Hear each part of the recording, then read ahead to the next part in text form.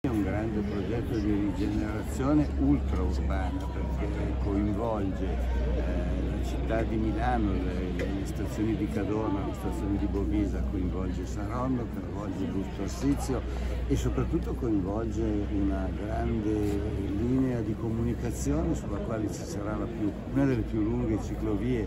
della nostra regione con un sacco di verde e con una grande iniziativa che va nella direzione della sostenibilità. Quindi è una bellissima iniziativa, un'iniziativa che credo sia giusto far conoscere ai cittadini, anche perché il comune di Busto Arsizio è stato molto bravo, devo dire, il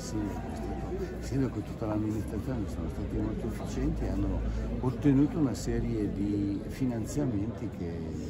contribuiranno sicuramente a migliorare ulteriormente la qualità di, di questa città.